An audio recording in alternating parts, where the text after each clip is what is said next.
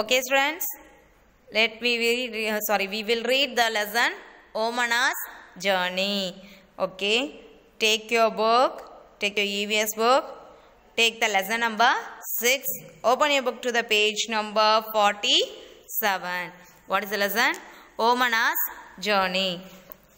Omana and her best friend Radha were very excited.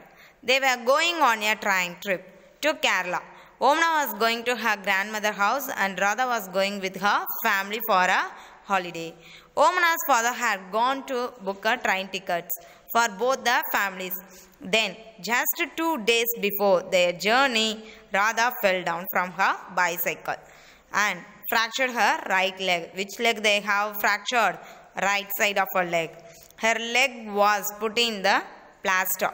The doctor said that she should not move her leg for six weeks.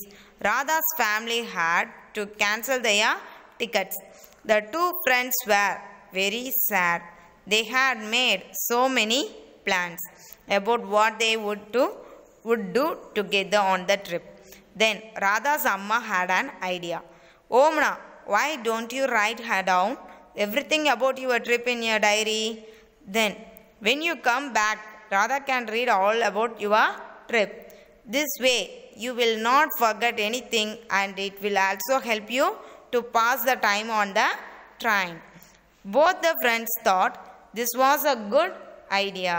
Omana went home and found a notebook with blank pages to write all about her journey.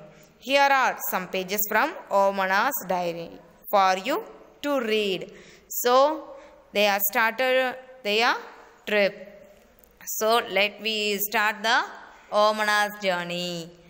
When, when they are going now here, 16th May. Okay. We will read this on our next class. From the diary, first of all, we will read. Okay. Thank you, students. We will see you on the next class.